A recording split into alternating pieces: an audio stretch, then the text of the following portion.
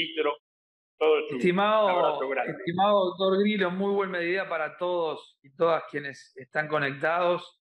en esta nueva modalidad. Te voy a hacer una confesión, de verdad, y es con absoluta honestidad. Este, es la primera vez que me relatan todo el, currículum y sabes lo que estaba pensando. Es la primera vez que me, me hace sentir veterano. Ha pasado, ha pasado el tiempo. Me lo habían relatado tanto así de corrido y pensaba cuando estaba relatando los hechos del año 2000, 2001, la verdad que ha pasado el tiempo y uno se siente siempre joven de espíritu, pero este, las caras nos van saliendo a todos, ¿no? Muy bien, muy bien. Sí, sí. Para mí es este, una alegría poder hoy estar participando con ustedes, más que nada contando sobre las actividades, las responsabilidades que nos tocan asumir y afrontar en la medida de la realidad que tenemos trazada por delante. Se imaginarán que en todos estos años de trayectoria que uno se va preparando en la vida política, eh, por pertenecer al departamento más esencialmente turístico del país y haberlo representado durante tantos años en el Parlamento, eh, el hecho de la preparación para asumir una responsabilidad como la que nos tocó asumir el Ministerio de Turismo había sido otra a la realidad que nos toca vivir hoy. Ese es un dato de la realidad que yo lo, he dicho en cuanta entrevista he ido, porque creo que forma parte de lo que todos tenemos que comenzar a asumir, que nadie estaba preparado para esto. Y, a todos nos toca reinventarnos eh, sobre la misma marcha, es decir, eh, prepararse para gobernar, asumir el gobierno y que a la semana de haber asumido tener que afrontar una epidemia sanitaria, una pandemia sanitaria a nivel mundial, no estaba previsto por lo pronto en el programa de gobierno ningún partido político. O sea, no estaban los planes. Y eso eh, implicó respuestas inmediatas sobre la marcha y eso a la vez determinó de que un montón de planificaciones y de desarrollos de planes estratégicos que teníamos prontos para echar a andar, lo tuviéramos, que son importantes, que son relevantes, lo tuviéramos, lo importante tuviera que ser relegado a un segundo orden de importancia porque lo importante tuvo que darle paso a lo urgente y lo urgente fue tener que tener la pandemia, las medidas y, todas las circunstancias que vive un sector que está muy dañado, como ustedes bien lo decían en la introducción, y que hace que hayamos que tener que tomar medidas fundamentalmente de sostenimiento de la actividad turística, de dialogar permanentemente con el sector turístico privado, de tratar de sostener y que quede por el camino, ojalá que no quedase nadie, pero por lo pronto este, la menor cantidad de operadores posibles y sobre todo planificar. Lo que no dejamos de hacer nunca es planificar. Y en base a eso me hice un orden de cierta estructura de diálogo porque hay que aprovechar el tiempo de la mejor manera posible. El Ministerio tuvo que salir a dar respuestas porque somos la actividad más dañada de la economía este, y, junto con la respuesta que tiene que dar salud pública, por otro lado, el hecho de a la semana, como contaba, de haber asumido tener que salir a cerrar puertos, aeropuertos y las fronteras, obviamente implicó un daño y un impacto de la actividad en la caída del turismo y los servicios que tuvimos que inmediatamente tomar medidas de sostenimiento del sector. Eso implicó, veníamos transitando en un plan estratégico que heredamos hasta el que era plan estratégico hasta el 2030, 2030, que obviamente giró y tuvo que tener una readaptación, incluso ya por lo que veníamos planificando nosotros, por situaciones y circunstancias legítimas de la democracia, hubo un cambio en el rumbo del gobierno y eso obviamente llegamos con nuestros planes, pero este factor eh, que hace al de la pandemia tiene que tener una especial atención. De cualquier manera, con lo que respecta al, plan 2030, en el cual se venía trabajando, nosotros tomamos la decisión de cortar los plazos eh, y definir un plan estratégico de desarrollo del 2025 integrado mucho, eh, trabajando estructuralmente con otras unidades del Estado y fundamentalmente enlazados con la Cancillería, con el Ministerio de Relaciones Exteriores. Nosotros tenemos la convicción que desde el Ministerio de Turismo estamos llamados a trabajar anexadamente con la Cancillería, de manera de poder optimizar los recursos y potencializar las sedes diplomáticas y consulados que el país tiene eh, por diferentes países del mundo con el objetivo de que sean oficinas de promoción de lo que es el clima de inversiones que estamos generando para la radicación y captación de inversiones de deporte y fundamentalmente también para lo que es eh, el intercambio y la visita de extranjeros en lo que tiene que ver con los bienes de turismo y servicios. Y es allí que hemos venido articulando fundamentalmente en esta última etapa que ha asumido el, el canciller Bustillo, la conducción de la Cancillería, la planificación y el desarrollo de una cantidad importante de actividades la primera fuerte para el país va a ser a partir del mes de octubre en la Feria Mundial de Turismo que se va a desarrollar en Dubái. Para nosotros Asia y los países árabes es un mercado muy importante para cautivar, para seducir, que no puede funcionar como un hecho aislado, sino que tiene que estar directamente vinculado con lo que es la facilitación y el acercamiento de los medios de comunicación. me estoy refiriendo particularmente a, a la estimulación y la generación de mayor llegada de aerolíneas de diferentes partes del mundo al país. Allí trabajando también eh, desde el Ministerio de Turismo, liderando lo que va a ser el desarrollo de esta feria, eh, que tiene una potencialidad enorme. Hoy el mundo, en cuanto a captación de divisas, todos los ejemplos que pongo, obviamente que son previos a la pandemia cuando se paralizó. Pero sí, allí hay una determinación tomada, hay un mercado por cautivar bien interesante, las corrientes turísticas de Asia y, del mundo y de los países árabes eh, mueven cifras siderales en millones de dólares, están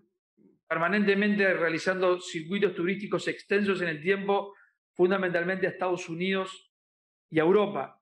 América Latina no está en el radar de ellos y entonces ahí hay un, un mercado que es todo ganar, ganar, todo lo que podamos ir captando es crecimiento significativo y allí eh, hemos coordinado con los ministerios de turismo tanto de Brasil como de Argentina la posibilidad de ir a estos lugares y no trabajar aisladamente mirándonos con recelo un país con el otro compitiendo por el mismo mercado, sino que por el contrario, yendo con eh, un objetivo de presentarnos como un destino regional. Eh, es muy difícil poder captar corrientes turísticas de Asia o del lejano oriente que vengan solo Uruguay o solo Argentina o solo Brasil, pero en la medida que integremos Perú, Paraguay, Chile, Uruguay, Argentina, Brasil en la propuesta, ahí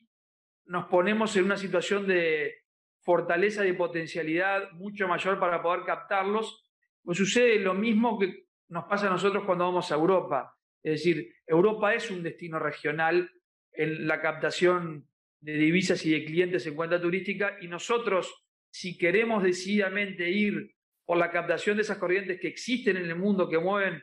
fortunas y que las no estamos en el radar ni en el colectivo de, digamos, de, de, interés como destino de ellos, tenemos que presentarnos como un destino regional,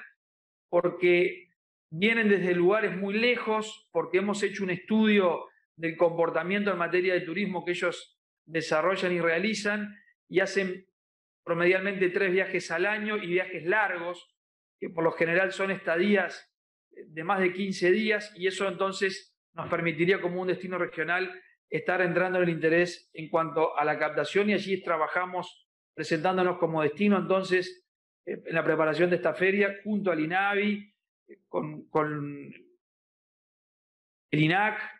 con el Ministerio de Industrias y con los diferentes organismos del Estado liderados por el Ministerio de Turismo, una gran feria de turismo, pero creemos que tenemos que tener una muy fuerte presencia buscando eh, no solamente captar eh, nuevas corrientes turísticas, sino que tan importante como esto, captar y lograr consolidar la radicación de inversiones. Eh, en todo esto que estamos transitando a partir de la pandemia, que obviamente Entiendo que es un tema que les debe despertar muchísimo interés en saber y en conocer, sobre todo cómo nos venimos desarrollando hacia adelante, es que hemos definido el aumento de la resiliencia del sector, la resiliencia como reinventarse a sí mismo en cuanto a una dificultad extrema que nos ha tocado vivir. Allí lo, lo urgente es el presente y lo estratégico ha pasado a ser el futuro en el desarrollo de estas estratégicas basados en tres ejes que están recomendados y en sintonía permanente con lo que es el alineamiento con la Organización Mundial del Turismo, que son basados en resistir, recuperarse y reinventarse. El resistir es el, sostenimiento del mismo y sobre todo la rehabilitación y elaboración de protocolos que hemos hecho desde el primer, segundo trimestre del año pasado, eh, en lo que tiene que ver con entender cómo ha impactado en la actividad turística toda la pandemia y por sobre todas las cosas en generar confianza. Lo primero que detectamos eh, instalada la pandemia es que la gente tenía miedo, sentía miedo en trasladarse, en ingresar a un restaurante, en ir a un hotel, en alojarse en un lugar que psicológicamente le resultaba ajeno, desconocido. Entonces, la primera decisión que tomamos fue trabajar fuertemente junto al Ministerio de Salud Pública, el Ministerio de Trabajo, la Cámara Uruguaya de Turismo, el sector privado, siempre ha estado integrado, que representa a las principales gremiales del sector, para trabajar en la elaboración de protocolos que estuvieron prontos en tres semanas. Los protocolos fueron un éxito, se aplican, funcionan, obviamente que hay que controlarlos, pero en lo que tiene que ver con la hotelería protocolizada, la gastronomía, incluso parques termales, no hemos tenido reportes negativos en cuanto al aumento de la línea de contagio, ni han habido brotes importantes. Si bien eh, en cantidades absolutamente mínimas por la aplicación de los protocolos se ha detectado la existencia de algún caso, ha sido, o que hoy forman parte de toda la sociedad, están por todas partes, ha sido realmente mínimo y las medidas extremas que se han tomado de protocolización de estos establecimientos hace que sean de los lugares más seguros para estar y se ha evitado y cortado en, todo momento la línea de contagio. Los objetivos que hemos tomado para lo que es esta reconversión de nuestros planes de desarrollo en el ministerio es obviamente tratar de mitigar de la mayor manera posible los efectos de la pandemia. Eh, cuando transitamos lo que pensamos que duraba 90 días, después 90 días más y llegamos a septiembre y estiramos a fines de octubre, la situación para tomar la decisión en qué términos íbamos a transitar lo que conocemos como nuestra temporada alta de sol y playa, ese primer trimestre del año en el cual Uruguay recibe entre enero y marzo en el orden de un millón y medio aproximadamente de visitantes extranjeros o de turistas,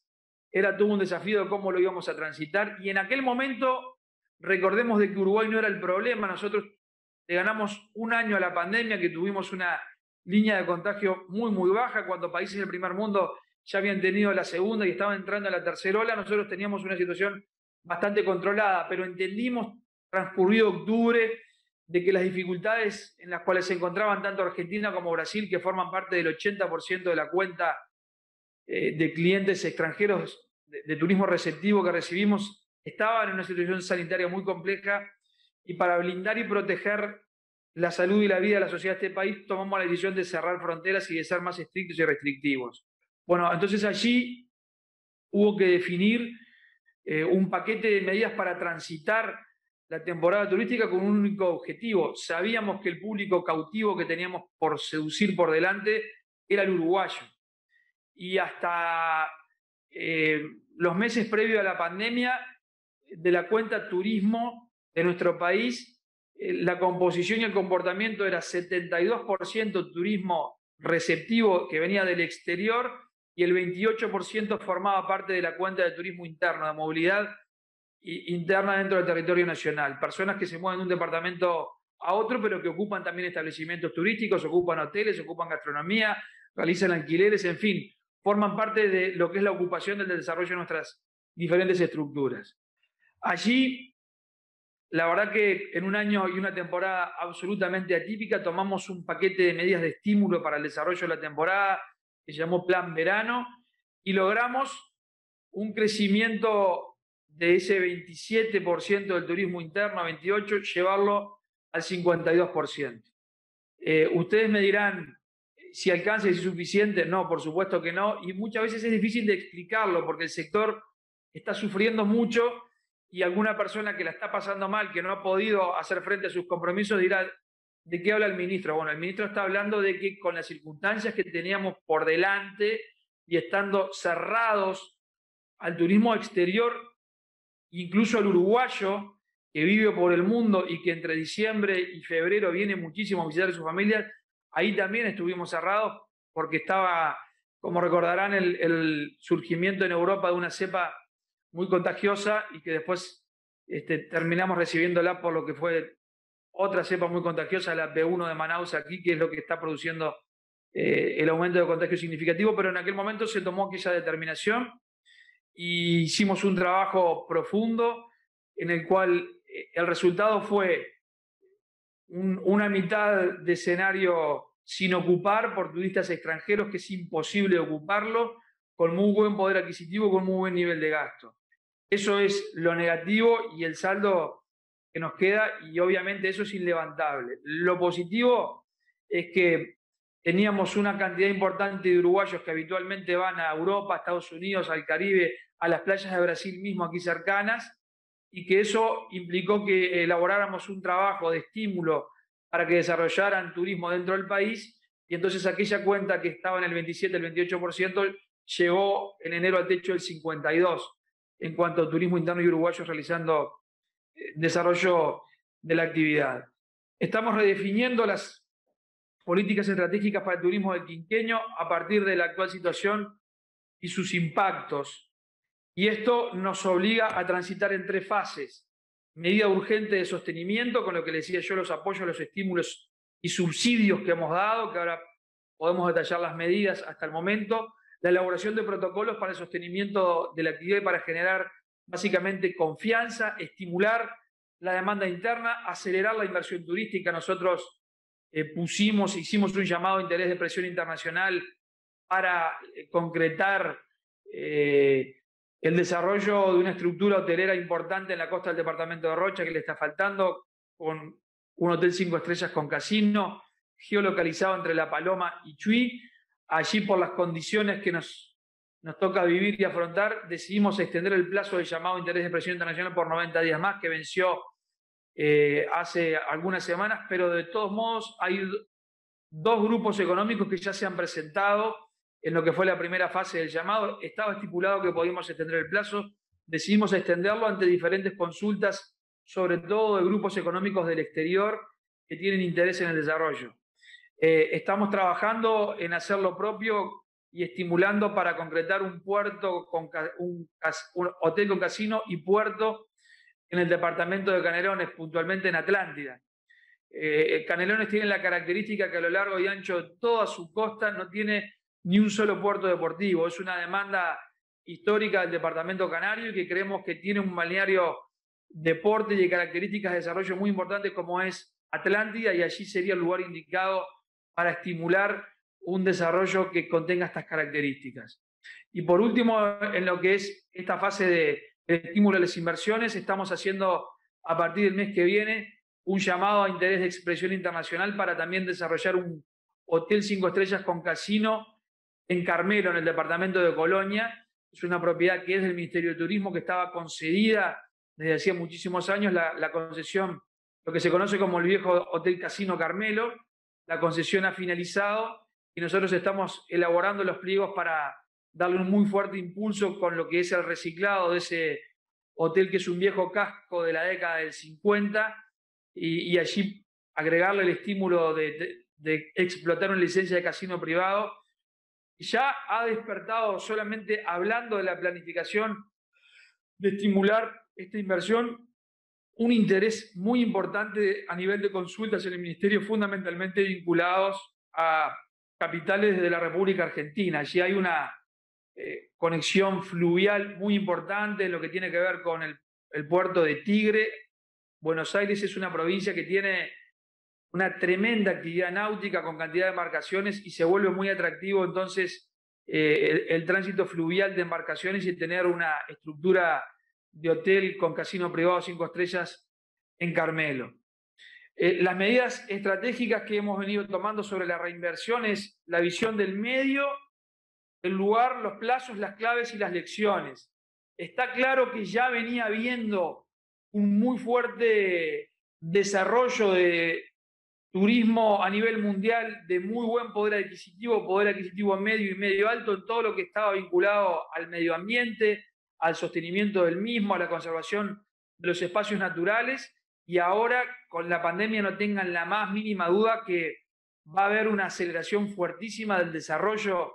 de estos destinos. Es más, ya lo hemos podido comprobar en todo este año que hemos estado cerrados en lo que es el aumento significativo a las visitas de los sistemas nacionales de, área protegida que tenemos en el país y a destinos naturales que no forman parte del Sistema Nacional de Áreas Protegidas, pero ejemplo Salto del Penitente, que es un lugar de referencia donde el Ministerio de Turismo tiene desarrollo de estructuras allí concedidas y donde hemos conversado con el concesionario del lugar y nos ha ratificado que ha tenido aumento de volúmenes de visitas del 100%, el doble eh, este año de, pandemia con lo que respecta a un año de normalidad con fronteras abiertas. Entonces eso marca, podríamos poner varios ejemplos, pero esto marca las claras de que la gente está buscando necesariamente, hasta por una actitud psicológica eh, y de salud, ir a lugares al aire libre, encontrarse con la naturaleza, buscar destinos que tengan que ver con la armonía de un circuito de desarrollo este, con el medio ambiente. Y allí estamos trabajando fuertemente en el Ministerio, desarrollando varias, varias líneas de acción en lo que tiene que ver con el desarrollo del agroturismo, el ecoturismo, el enoturismo, el turismo de viña también está teniendo eh, un muy fuerte impacto. Hemos logrado eh, en este año de pandemia por primera vez en la historia del enoturismo, que es el turismo de viña, que Uruguay ingrese al circuito mundial del turismo de viña, de visita de viña. Y esto hace a que una vez que podamos dar paso a la, a la apertura de fronteras, tener allí un muy fuerte, eh, una muy fuerte recuperación en el impacto de visitas con este tipo de turistas que viene por varios días, que recorre varios departamentos del país, que va hacia adentro del territorio y que sobre todo tienen un muy fuerte poder adquisitivo, desestacionalizan porque no forma parte del mayor interés en el comportamiento de estos turistas el sol y la playa, sino que buscan eh, lo cultural, lo histórico y también a partir del desarrollo de las visitas a las viñas. Hemos redefinido las regiones, tenemos un concepto de trabajar en regionalización del turismo del país. Eh, la región este está conformada por los departamentos de Maldonado, Rocha, La Valleca y 33, la región metropolitana Montevideo, Canelones, la región litoral Soriano, Río Negro, Paysandú, Salto, región centro-sur, San José, Colonia, Florida, Flores, Durazno, y la región norte, Artigas, Tacuarembó, Rivera y Cerro Largo. Hemos tomado un criterio de región a la hora de redefinición para trabajar en los diferentes planes de turismo para aplicar en el territorio. Región en el concepto de que una región tiene que tener características en común, geográficas, topográficas y culturales de los departamentos entre sí. Por eso es que Allí hicimos algunas redefiniciones y pusimos departamentos en una zona que estaban eh, que no pertenecían para que vengan a, pertenecer a, a, nuevas zonas en cuanto a esta sintonía que deben de tener y de reunir en lo que les decía. En lo que tiene que ver con las cinco grandes líneas de desarrollo que tenemos planificadas para el quinqueño son el turismo costero, el turismo de reuniones a partir de lo que es una línea de acción que ustedes por ser rotarios, conocen perfectamente lo que mueve y lo que significa los congresos, las convenciones y los seminarios a nivel mundial. Allí estar prontos para hacer un, relanzamiento muy fuerte y que el país vaya detrás de eh, atraer a la mayor cantidad de eventos posibles que hoy se han replanteado a nivel de todo el mundo y sobre todo eventos de porte internacional que garanticen la movilidad, la ocupación de camas, de hoteles, de gastronomía, de cantidad de cubiertos, de medios de transporte, de ómnibus, de taxis, de remises, porque creemos que por ahí también hay un objetivo muy claro para trabajar en la recuperación del sector, no bien podamos darle paso. El turismo rural y ecoturismo, que ya se los decía recién, cómo veníamos trabajando en un tercer orden de cosas. El cuarto punto a desarrollar es el turismo termal. Estamos trabajando con lazos muy fuertes con las intendencias de Paysandú y de Salto en lo que es eh, una actividad que estaba bastante desatendida. Nosotros hemos tomado la decisión, más allá de la filosofía política al cual pertenezca eh, el rumbo de mando en los departamentos y en el ministerio, aquí ponemos un claro ejemplo de que podemos trabajar con planificación y con profesionalismo en el turismo como una política de Estado, con un ministro perteneciente al Partido Colorado y con un intendente en Paysandú del Partido Nacional y un intendente en Salto perteneciente al Frente Amplio. Eh, lo pongo como ejemplo que se puede trabajar en políticas de Estado, desarrollarlas, profundizarlas. Los tres hemos acordado que la marca Destino Termas necesitaba de un relanzamiento. Hemos volcado fondos para preparar las estructuras turísticas de lo que son los filtrados las termas, la ampliación de vestuarios, la atención de eh, desarrollar estructuras en esos lugares que den mejora en la calidad de los servicios. Quinto, el turismo histórico-cultural. Eh, ahí estamos desarrollando programas con el BID eh, en lo que es la captación de esas otras corrientes que no se vuelcan, así como yo les analizaba el comportamiento de las personas que visitan las viñas en el enoturismo, hay una muy fuerte corriente en el mundo del turismo cultural que Uruguay tampoco la estaba captando, que no les interesan los destinos de sol y playa, pero que son muy fuertes y muy sólidos económicamente y van detrás de lo histórico-cultural. Y ahí estamos desarrollando junto al programa David un circuito histórico-cultural muy interesante en diversos territorios de las regiones del país eh, para poner a disposición de, de, los consumidores. Y como sexto punto, el desarrollo del turismo de cruceros. Ustedes saben que la temporada de cruceros se desarrolla entre noviembre y abril, se ha visto interrumpida por la pandemia, estamos trabajando con la Cámara Uruguaya de Turismo en lo que es el, el relanzamiento de la temporada de cruceros. Y Uruguay por las características que reúne podría transformarse en un puerto no solamente de destino, en lo que es la captación de mayor cantidad de cruceristas y de, embarcaciones que, toquen puertos, sino en un lugar de desarrollo de logística, de abastecimiento para las diferentes cadenas eh, que no solamente toquen puerto aquí, sino que en toda la región ser el hub de distribución y eso obviamente generaría una cantidad importante de movilidad, de logística y de consolidación de puestos de trabajo. En lo que tiene que ver, no sé cómo estamos de tiempo, me he extendido a mí hablar no es lo que me cuesta, así que eh, digo, rápidamente puedo pasar nota a, lo que son las medidas en las tres etapas que hemos venido afrontando, que hemos tomado de sostenimiento del sector, las recuerdo rápidamente. El IVA tasa cero a servicios hoteleros entre el 15 de noviembre al 4 de abril, que ya pasamos esa etapa, que fueron, formaron parte de lo que fue el plan verano. El descuento de nueve puntos de IVA en los servicios de gastronomía, junto con el Banco de la República en acuerdo lanzamos este, un producto que, el banco tenía dentro de su portafolio de productos para ofrecer muy importante, que es una tarjeta Mastercard Bro Recompensa, que otorga descuentos del 10% en farmacias y supermercados, el 5% en combustibles, el 30%, 30% en gastronomía y hotelería en los locales que estén adheridos, y además genera créditos y recompensas cada 100 pesos de gasto genera un peso que se podrá utilizar en cualquier compra. Eh, esta, la vigencia de la tarjeta recompensa ya terminó con las últimas medidas y hoy estamos conversando con el Banco de la República para darle de alta baja temporada nuevamente a partir de las vacaciones de julio. Hemos apoyado a los operadores a través de la Superintendencia de Servicios Financieros del Banco Central de Uruguay, allí interactuando y autorizando a que las instituciones financieras y de, intermediación del crédito puedan extender y dar gracia en, los créditos para la amortización de capitales, en aquellos créditos que fuesen problemáticos por la pandemia y refinanciarlos por 12 meses para adelante en lo que tenían vigente. Le hemos dado un fuerte impulso y alcance al sistema de crédito SIGA, que no existía para el sector turístico, que es un crédito con garantía del Estado, y que ahora le dimos alcance a través de un proyecto de ley para que eh, estén comprendidos dentro del mismo la hotelería, los campings, la hostería, los restaurantes, los bares, las agencias de viaje, la inmobiliaria, entre otras, que podrán acceder a una garantía por un máximo de hasta 1,8 millones de unidades indexadas, que traduciéndolo, hablando pronto y claro, es del orden aproximado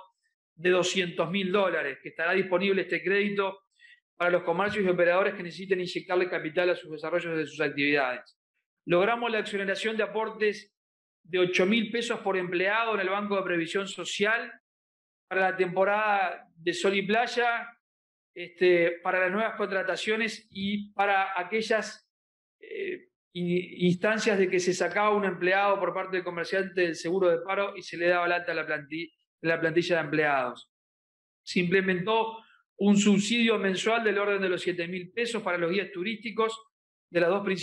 principales gremiales porque obviamente estaban sin ningún tipo de actividad. Se aprobó la ley 19.913 sobre exoneraciones de los apartes patronales jubilatorios de la seguridad social para las agencias de viaje, organizadores de eventos y empresas de transporte turístico que estaban con muy escasa actividad, muchos de ellos con cero actividad y otros con, eh, la verdad, una muy pequeña capacidad de desarrollo. Eh, se implementaron regímenes especiales de subsidio por desempleo flexible y parcial y exoneraciones del 40% y financiaciones de hasta el 60% del aporte patronal a abonar en cuotas y flexibilización de adelantos de licencias correspondientes al año 2020 en un acuerdo eh, en la actividad turística entre empleador y empleado. Se prorrogaron en el 2020 los pagos de impositiva del Banco de Previsión Social para los monotributistas y los aportes de dueños y socios de sociedades personales. Se establecieron planes especiales de la UTE y de la OCE en todo lo que tiene que ver con eh, comercios vinculados a la actividad turística, transfiriendo eh, los costos fijos, eh, la potencia de UTE, ustedes imaginarán que forma parte de, una muy, de lo más importante en la tarifa que deben pagar, sobre todo los hoteles y los restaurantes. Allí logramos este, la exoneración de los mismos y la refinanciación del pago de la tarifa en, cuotas para el año siguiente. Se autorizó en el 2020 eh, a las instituciones de intermediación financiera y administración de crédito a extender los plazos de vencimiento de sus clientes por 180 días más. Hubo una extensión en el plazo de presentación de garantía a las agencias de viaje y a las empresas de turismo terrestre ante nuestro ministerio. Eh, concretamos una comisión de aplicación de la ley de inversiones con la COMAP que resolvió suspender los requisitos exigidos para el caso de la hotelería de condominio. Existen créditos alternativos para los sectores hoy, eh, a los del Banco República, microfinanzas COVID-19. También en la República logramos la implementación de créditos fuera del SIGA para eh, otorgar liquidez a las empresas unipersonales y monotributistas con en muchos casos con tasa cero y en otros con tasas preferenciales. Se estableció un nuevo régimen de promoción de construcción de viviendas, organización de proyectos de gran dimensión económica de origen privado, junto con el gobierno desde el 19 de abril del 20 en adelante, con el objetivo de favorecer la actividad de la construcción y la inversión en este periodo, eh, que está teniendo, la verdad, muy buenos resultados y por suerte la actividad en lo que tiene que ver con el desarrollo de la, la construcción e inversiones deporte ha tenido un sostenimiento y un fuerte repunte en el país. Medidas de comercialización y termino. Hemos tomado medidas de estímulo a la demanda interna en un plan de comercialización de plataformas desde nuestro ministerio, financiado por el Ministerio de Turismo y brindado a los operadores turísticos que hoy forman parte del paquete turístico. Actualmente e, en, esta plataforma, que es una herramienta que está disponible desde nuestro ministerio, es desde donde se concretan la mayor cantidad de, acciones y intermediación en contratación de circuitos turísticos en el interior del país y, han habido más de 500.000 visitas y es donde se dan la mayor cantidad de búsquedas. Hemos logrado la identificación y promoción de circuitos turísticos nacionales innovadores para el mercado interno, con la planificación y el desarrollo integrado junto a los ministerios de Educación y con el Ministerio de Ambiente y permanentemente sosteniendo el vínculo con el sector privado, con la Cámara Uruguaya de Turismo, que es la que representa a la mayor cantidad de gremiales vinculadas al sector. Eso es lo que hemos venido haciendo y es un poco el, diagnóstico de la situación que queríamos darle como resumen en el menor tiempo posible, pero es muy abarcativa, es muy amplia la batería de medidas que, hemos estado tomando en sintonía con el Poder Ejecutivo, con el resto del Gobierno Nacional. Como les decía al principio de esta gran eh, perorata que les he desarrollado,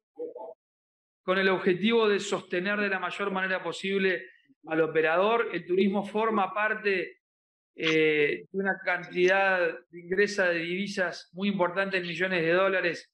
para el país. Eh, emplea, ocupa en el orden de 120 mil empleos directos que hoy se han visto seriamente resentidos y de manera indirecta otro número tan importante como este o mayor aún. Por tanto,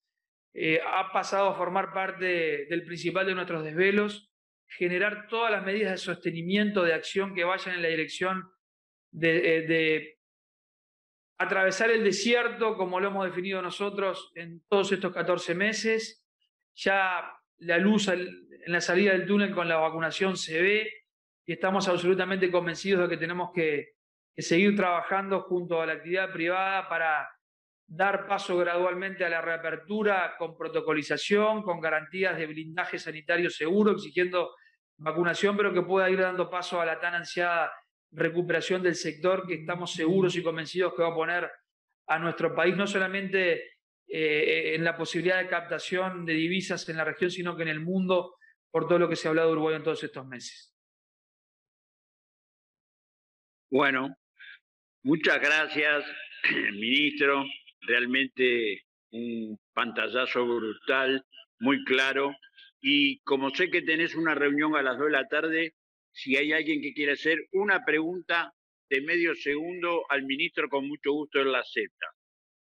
A ver, Conde, si hay alguien con una pregunta. Ahí, Julita, si reactiva el audio, Julita, la que tiene la mano levantada hasta ahora. Sí, hola, ¿qué tal? Bueno, veo que el ministerio y el ministro no han estado ociosos en esta pandemia, así que felicitaciones. Pero mi pregunta es muy cortita y precisa. En realidad son dos en una. El, pasa, el certificado de vacunación que le permita a la gente viajar, que eso, más allá de que sea interesante desarrollar el turismo interno, para todo el sector, agencias de viaje, etcétera, etcétera, también es importante. Ese es uno. ¿En qué estamos con ese tema? Porque no, no termina de aclararse. Y el otro es qué se va a hacer para no estar tan desconectados del mundo, porque cada vez tenemos tan, tan pocas aerolíneas que vienen al Uruguay. Bien, lo primero, nosotros le hemos pedido a su secretario, a Ramón Monseglio, que se integre a trabajar activamente en lo que es los grupos que están tratando el pasaporte sanitario. Eh, es una aseveración, o sea, la, Organización Mundial del Turismo así lo, requiere y hoy la apertura del mundo se está dando, Europa está dando paso a la apertura, Estados Unidos también, eh, con turismo seguro, turismo, eh, la exigencia va a ser estar vacunados, España ya eh, se ha pronunciado respecto con cualquier tipo de vacuna. Estados Unidos no está exigiendo vacunación porque la está dando, pero de cualquier manera allí han logrado controlar a excelente ritmo de vacunación la pandemia. Y nosotros, eh, junto con IATA, que es la filial que nuclea las principales aerolíneas del mundo, al aeropuerto, a la Cámara Uruguaya de Turismo, aeropuertos como puerta de entrada de personas al país, y con la Organización Mundial de Turismo, por la pregunta que, que hacías tú, Julita, en cuanto a uruguayos que vayan a ir a otros destinos del mundo, en lo que es la, instrumentación del pasaporte sanitario, pase verde, pase saludable, como quiera llamar sereno, está cerrado todavía cómo se va a denominar, pero se está muy avanzado en esa dirección y va a ser a través de un código QR, que en el teléfono celular van a estar cargados los datos de la persona, lo que es su, su ficha sanitaria, digamos, las vacunas que tiene, la fecha que se las ha aplicado, y eso básicamente es lo que se está manejando que va a regir en los diferentes países del mundo como puerta, como exigibilidad para dejar entrar a las personas que vengan. Nosotros ya hemos tomado alguna medida en lo que tiene que ver con las excepciones que hoy tenemos vigentes desde junio del año pasado, los ingresos que aceptamos hoy, incluso con fronteras cerradas, lo vinculado al avance de la vacunación. Eh, resultaba contradictorio y lo, planteamos ya en los últimos dos consejos de ministros, y ya hay muchas personas que tienen tanto uruguayos que salen, que pueden salir y vuelven, como eh, uruguayos que viven en el exterior, como extranjeros que tienen residencia o extranjeros que vengan al amparo de las excepciones a, desarrollar actividad económica o laboral en el país, tienen las dos dosis de la vacuna y con el periodo eh, de inmunización requerido mínimo de 15 días para lograr el, máximo del mismo. Entonces allí ya hemos logrado eh, justamente que la persona que pruebe que va a ser a través del código QR el certificado de vacunación con las dos vacunas, los 15 días de la segunda dosis dada y un PCR negativo, que también se le va a requerir, la exoneración de la cuarentena. Hacia ahí, presumiblemente, vamos a avanzar en la medida que podamos cuando nos vayamos a abrir a recibir turistas en general, ya no al amparo de estas excepciones, pero sí exigiendo la vacunación con estas particularidades. Y te diré que, para terminar esta primera pregunta que me hiciste, sobre todo lo vinculado a uruguayos que van al exterior, esto debería estar cerrado la definición de la aplicación de esta protocolización en las próximas dos semanas. Están muy avanzados los grupos de trabajo. El Ministerio, a través de su, subsecretario, forma parte de, las decisiones que está tomando la Organización Mundial del Turismo a nivel mundial, que hay una lógica ahí este, integral en, la definición. Todos debemos resolver ir en la misma dirección para que de esa manera facilitarle el tránsito entre los diferentes países del mundo a las personas que van y vienen que salen o que vienen o que, o recibimos como turistas. Y en lo que me hablabas de conectividad, eh, hoy el mundo está en crisis. No es un problema del Uruguay. Han quebrado aerolíneas en el mundo, han quebrado cadenas eh, de hoteles que era impensado que pudieran quebrar, agencias de viaje, y, Uruguay no es ajeno a esa realidad. De cualquier manera, eh, sí decirte con certeza de que estamos trabajando con mucha determinación Hemos logrado eh, ya el aumento de frecuencias de la aerolínea Copa, que ha cambiado la nave y nos eh, ofrece una nave muy cómoda, no la que tenía anteriormente, que era un 737 pequeño, sino este, una nave que nos conecta con toda América a partir del hub de Panamá, con Estados Unidos y todo Centroamérica, eh, con un aumento de frecuencias y mejoramiento de la nave, como te decía. Hemos logrado que venga Eastern a Uruguay después de muchísimos años que se había retirado para tener una conectividad con mucho mayor frecuencia, en un primer avance eh, con una frecuencia importante a nivel semanal a partir del próximo 25 de junio, con la ruta directa Montevideo-Miami, con el objetivo de trabajar para lograr cinco frecuencias semanales en un primer desarrollo. Ya le hemos planteado a la Embajada de los Estados Unidos nuestra eh, voluntad de, captar alguna otra aerolínea o Easter mismo o alguna otra eh, Delta o puede ser varias que hemos estado en contacto con el objetivo de tener conectividad directa con alguna otra ciudad de Estados Unidos importante en lo que tiene que ver con el objetivo que nos hemos puesto por delante, que es captar inversiones, no solamente turistas, sino radicación de inversiones genuinas. Y nosotros hemos accedido a estudios que dan como conclusión de que es muy importante en centros económicos de gran porte como Nueva York o como Los Ángeles, la conectividad aérea directa. Los inversionistas, a la hora de evaluar eh, los destinos para radicar inversiones, el hecho de que no haya conectividad directa de esa ciudad, más allá de que sí exista la conectividad a través de Miami, ya es un obstáculo eh, muy importante y te diré de que de descarte para tomar definiciones y materializar esas inversiones. Entonces estamos trabajando fuertemente para tener en un primer objetivo eh, una frecuencia de dos vuelos semanales con la ciudad de Nueva York. Y por otro lado, con IATA tenemos una reunión la semana próxima con el objetivo de captar eh, aerolíneas que no están llegando a Uruguay desde Europa, del viejo continente, que no, no, no te quiero adelantar los nombres, pero ya estamos trabajando con dos que hoy no vienen para que puedan, podamos tener también eh, línea directa, conectividad directa con dos países del mundo, de Europa, del viejo continente, que hoy no lo estamos teniendo y que entendemos sería muy importante para la captación de turismo extrarregional, que hoy es nuestra cuenta fuerte, y de nuevo lo que es la posibilidad de captar inversiones de deporte. Bueno, Germán, lo que te tengo que decir es agradecerte y felicitarte porque realmente el trabajo de ustedes es brutal. Eh, te dejo libre porque tú tenías una Muchísimas gracias. no, eh, y, te mandamos una felicitación, todos los rotarios, esta rueda rotario, porque hoy además, entre la rueda rotaria que hay, tanto del Club Montevideo como de los demás clubes, tenemos al, al próximo gobernador, Gino, que te está escuchando, y al próximo del próximo gobernador, Gatitorena, también que te está escuchando, de tal manera que la importancia que ha tomado tu conversación fue brutal porque tanto el próximo gobernador como el próximo del próximo gobernador estuvieron que un abrazo, muchas gracias y como siempre trabajando por el Uruguay.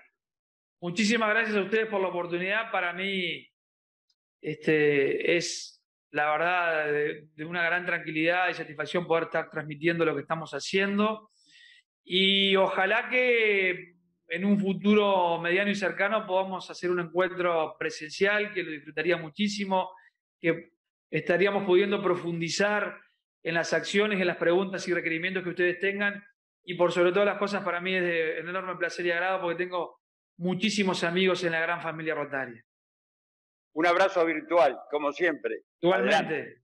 Gracias. Hasta pronto. Y para la rueda rotaria, el golpe final de campana, nos paramos para hacer el homenaje a la bandera nacional y rotaria y le decimos a toda la familia rotaria que los apreciamos mucho, los queremos mucho y que disfruten de, buen día y nos veremos eh, después del cafecito virtual, nos veremos el próximo martes. Un abrazo, gracias por todo, hasta el martes.